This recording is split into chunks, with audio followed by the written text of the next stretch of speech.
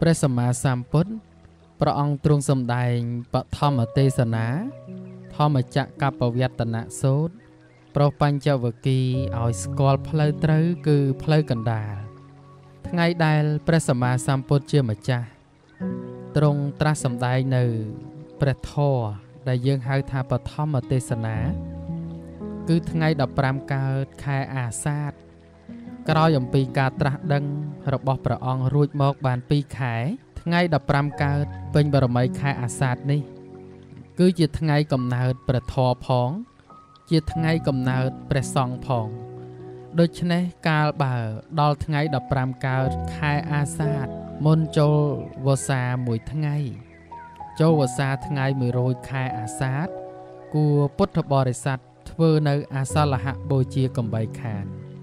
បឋមទេសនាដែលព្រះអង្គទ្រង់សម្ដែង បានដល់ធរបដិវេធៈនៅផ្លូវបដិបត្តិ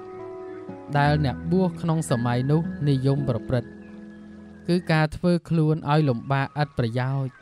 និងធរបដិសេធនៅផ្លូវម្យ៉ាងទៀត គឺការបណ្ដោយជីវិតតាមកាមតណ្ហាផ្លូវទាំងពីរនេះទ្រង់បដិសេធថាមិនមែនជាផ្លូវនៃការត្រាស់ដឹងឡើយ។ ព្រះអង្គទ្រង់បានសម្ដែងប្រាប់នៅផ្លូវកណ្ដាល ដែលហៅថាមជ្ឈិមាបដិបទាថាជាផ្លូវបដិបត្តិដ៏ល្អប្រពៃជាផ្លូវប្រកបដោយអរិយមគ្គអង្គ8ដែលពោលដោយសង្ខេបគឺសិលសមាធិបញ្ញា ខ្លឹមសារនៃជីវិត ជីវិតរបស់មនុស្សយើង រមែងតែងតែ ជីវិតរបស់មនុស្សយើង តែងតែ មាននៅបញ្ហា ជារឿយរឿយបន្តិចរឿងនេះ បន្តិចរឿងនោះ ដោយច្រើនគឺបញ្ហាតាមផ្លូវចិត្តនឹងឯងបើយើងមិនមានធម៌សម្រាប់ដោះស្រាយទេ វារមែងមានការលំបាកតានតឹងក្នុងចិត្តជាពិតប្រាកដហើយវាអាចគ្របសង្កត់ចិត្តបានយូរទៀតផងប្រៀបបីដូចអ្នកបើករថយន្តទៅផ្លូវឆ្ងាយ បើមិនមាននៅគ្រឿងឧបករណ៍សម្រាប់ជួសជុល កែខៃនៅពេលរថយន្តខូចឬធ្លាយកង់ទេនោះលុះដល់រថយន្តខូចឬធ្លាយកង់ក៏រមែងមានការលំបាកច្រើនក្នុងដំណើរផ្លូវ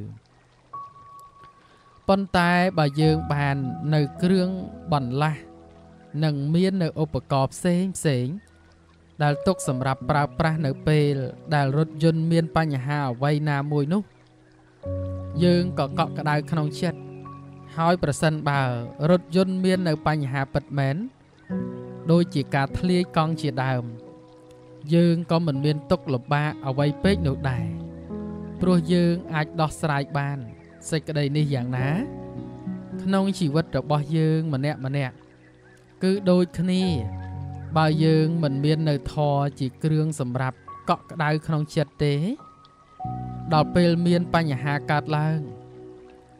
ក៏ជាទុកក្រៀមក្រំលំបាកលំបិនក្នុងចិត្តក្រៃលែង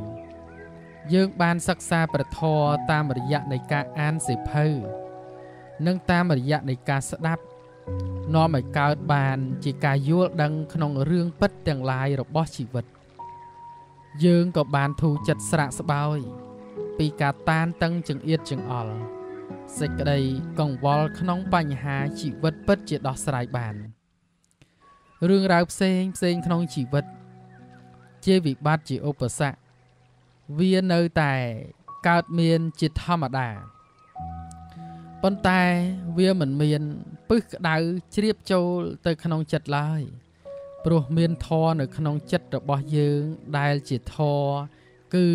ការយល់ដឹងនៅសេចក្តីពិតរបស់ជីវិត ការសិក្សាព្រះធម៌វាមានប្រយោជន៍នៅត្រង់ការយល់ដឹងនៅសេចក្តីពិតរបស់ជីវិតនឹងឯងព្រោះមានការយល់ដឹងនេះហើយទើបយើងមានសេចក្តីស្ងប់រងាប់ចំពោះមុខនៃឧបសគ្គចំពោះមុខនៃវិបត្តិផ្សេងផ្សេងក្នុងជីវិត ចិត្តស្ងប់រងាប់ធ្វើឲ្យយើងរឹងរិតតែឆ្លាត តែបើចិត្តខឹងក្រោតវិញ វារមែងធ្វើឲ្យយើងទៅជាមនុស្សល្ងងមួយរំពេច។ ពុទ្ធបរិស័ទទាំងឡាយបានពេញចិត្តក្នុងការសិក្សាស្ដាប់នៅធម៌ជាប្រចាំព្រោះបានស្ងប់ចិត្តសមគួរទៅតាមការយល់ដឹង រឹងរិតតែយល់ដឹង ប្រយោជន៍គឺសេចក្តីស្ងប់ចិត្តក៏រឹងរិតតែចម្រើនដូច្នេះទើបពុទ្ធបរិស័ទមិនធុញទ្រាន់នឹងការប្រកបរបស់ព្រះធម៌ឡើយពុទ្ធបរិស័ទបានយល់ដឹងអំពីជីវិត គឺពុទ្ធបរិស័ទមានការចម្រើនដោយគុណធម៌ព្រោះគុណធម៌គឺមេត្តាករុណាក្តីសេចក្តីសន្តោសក្តីសេចក្តីព្យាយាមក្តីសិលក្តីសមាធិក្តីខន្តីសេចក្តីអត់ធន់ក្តីជាដើមនេះ រមែងកើតឡើងចម្រើនក្នុងចិត្តដោយអាស្រ័យការយល់ដឹងអំពីសេចក្តីពិតរបស់ជីវិតនឹងឯងដើម្បីជាប្រយោជន៍ ធំទូលំទូលាយ សូមពុទ្ធបរិស័ទកុំទៅវត្តតែម្នាក់ឯងកុំសិក្សាស្វែងយល់តែម្នាក់ឯងត្រូវដឹកនាំត្រូវប្រមូលមិត្តសម្លាញ់និងអ្នកដតីផ្សេងផ្សេងទៀតឲ្យបានចូលមករកផ្លូវត្រូវ ផ្លូវប្រពៃផង គឺជាការជួយសង្គ្រោះមិត្តសម្លាញ់និងអ្នកដតីផ្សេងផ្សេងទៀតនោះ ដោយការសង្គ្រោះផ្លូវចិត្ត ផ្លូវវិញ្ញាណព្រះដ៏មានពភៈទ្រង់ត្រាស់ថាសัพពទានណੰធម្មទានណੰជីនិតេការឲ្យទានធររមែងឈ្នះការឲ្យទានទាំងពួង ការឲ្យរបស់ដតីនោះជារឿយរឿយខាងក្រៅតែការឲ្យនៅព្រះធម៌ជាទាន ជារឿងខាងក្នុង របស់ដតីជាប្រយោជន៍ដល់រាងកាយតែព្រះធម៌ជាប្រយោជន៍ ដល់ការអប់រំចិត្តរបស់ណាដែលជាប្រយោជន៍ដល់ចិត្តជារបស់ដែលយើងគួរឲ្យគួរចែកជាចាំបាច់បំផុតឬថា គួរនាំគេឲ្យមកទទួលដឹងក្នុងរឿងដែលគេគួរយល់ដឹងឲ្យគេបានដឹង បានយល់នៅក្នុងគោលធម៌ព្រះពុទ្ធសាសនា ដើម្បីបានដោះស្រាយក្នុងបញ្ហាជីវិតរបស់គេ បើយើងបានឃើញមិត្តរបស់យើងមាននៅសេចក្តីទុក្ខមាននៅសេចក្តីក្តៅក្រហាយចិត្តយើងក៏ទៅបបួលគេចូលវត្តបបួលគេឲ្យធ្វើសេចក្តីល្អដូចជាថ្ងៃឧបោសថសិលជាដើម យើងក៏ទៅបបួលគេមកឲ្យគេបានមកអង្គុយស្ងប់ចិត្តខ្លះឲ្យគេបានស្ដាប់បានរៀនដឹងអំពីរឿងជីវិត ឲ្យគេបានយល់ដឹងការពិត គេក៏បានធូរគេក៏បានធូរថយនៅសេចក្តីទុកគេក៏បានធូរថយនៅសេចក្តីទុកក្តៅក្រហាយចិត្តទៅតាមភាពភ្លឺស្វាងរបស់គេ ការជួយមិត្តសម្លាញ់ក្នុងសភាពបែបនេះ ជាការជួយដកពិតប្រកបជាការជួយយ៉ាងថាវរៈមមមួន